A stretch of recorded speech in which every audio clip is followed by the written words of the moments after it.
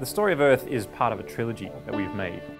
We started with Hidden Universe, which was a, a story about the, the general building blocks of the universe. And in that film, we realized that, hey, we're all made from the same stuff as, as everything else in the universe. Which led to the second story, which it was the search for, for life in space.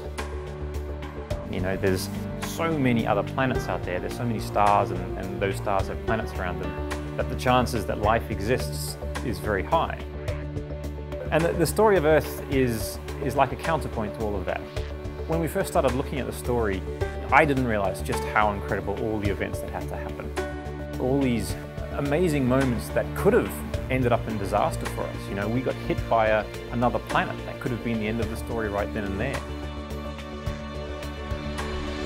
But instead, it led to greater things.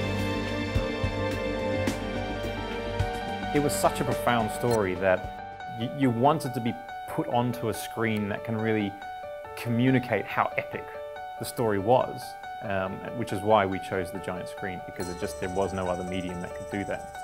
What you put in to get those shots, the, the distances you travel, the, the, the work you do to get amazing shots, really shows on screen and you can see it and be proud. One of my favourite memories is us putting the, the 3D rig over the edge of a glacier um, and our director of photography being strapped in and staring down thinking what on earth am I doing with myself?